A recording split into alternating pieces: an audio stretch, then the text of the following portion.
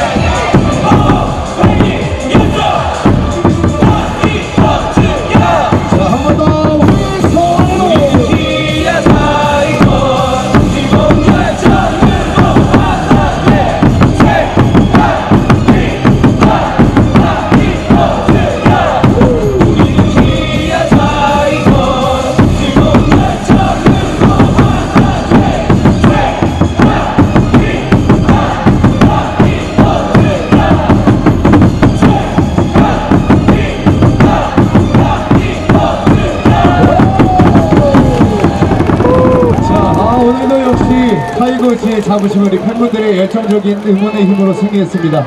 정말 후반기 첫 번째 경기 굉장히 중요했는데 멋진 승리, 완벽한 승리 여러분들의 응원 덕분인 것 같습니다.